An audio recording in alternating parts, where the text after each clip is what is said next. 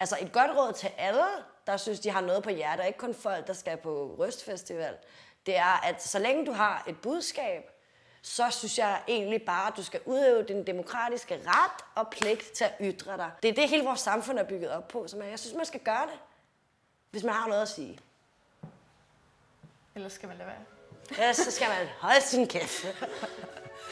Så demokrati for udvalgtes.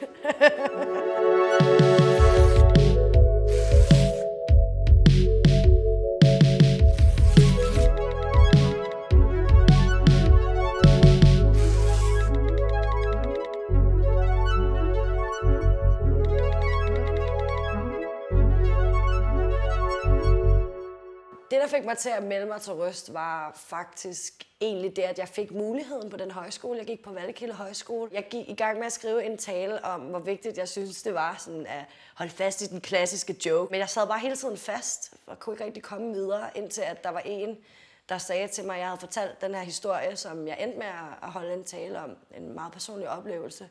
Øh, og så spurgte hun, hvorfor det var, at jeg ikke holdt en tale om det i stedet for. Og så snart, at det gik op for mig, at det selvfølgelig var nemmere, fordi det rent faktisk var noget, jeg synes var vigtigt, og noget, der betød rigtig meget for mig. Så løb det bare ud af fingrene på mig. Nørreport station er blevet bumpet. Og det var mig, der gjorde det. I hvert fald, hvis I spørger mine gymnasiekammerater. På mange måder var, var det en ret surrealistisk oplevelse, fordi det føltes ikke som om, det var min egne ben, der ligesom gik op til den talestol. Det var overhovedet ikke ubehageligt. Øhm, det, det kom nærmest af sig selv, da jeg stod der. Jeg kom ud af gymnasiet med et snit på 11,8. Men jeg er faktisk ikke glad. Jeg har vundet spillet om karaktererne, men jeg er ikke glad. Det var ikke så meget det der med at gå op på scenen, der var det, sådan, det, det helt store problem. Det jeg skulle overvinde i hvert fald, var, at øh, den historie, jeg skulle fortælle, den var, altså jeg synes, det var så personligt.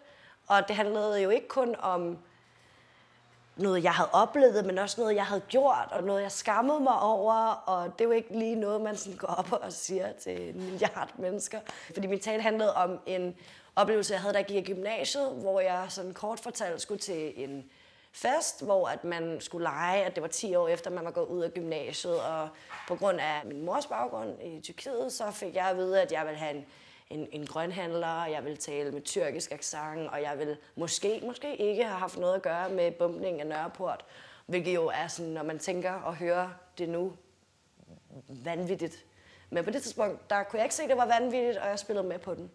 I sidste ende, så tror jeg, at den humoristiske jargon udviskede grænserne.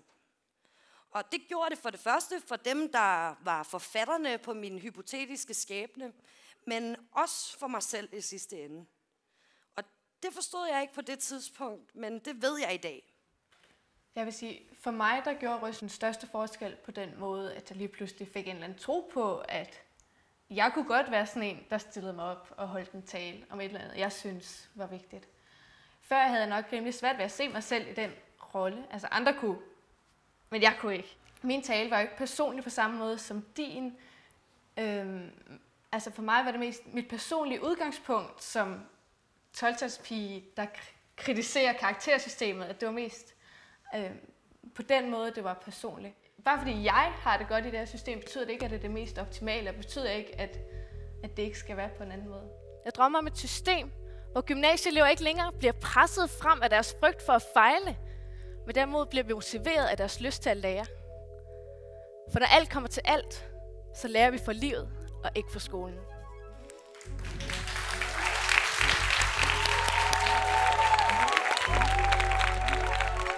Jeg tror først og fremmest, at de personlige historier kan øh, give øh, lytteren og publikum nogle nuancer og nogle perspektiver, som de umuligt selv vil kunne skrue sammen, fordi alle kommer jo fra forskellige oplevelser og baggrunde og sådan nogle ting. Jeg synes, vi har set mange gange igennem historien, at en personlig historie om nogle dårlige kår eller gode oplevelser for den sags skyld, har været med til at ændre, hvordan man ser på nogle ting. Selvom man ikke kommer fra den oplevelse, så kan man bedre forstå det, fordi det er et menneske, der fortæller om, hvordan de har oplevet det. Øhm, så altså, det kan virkelig, altså sådan nogle historier kan reformere, tror jeg.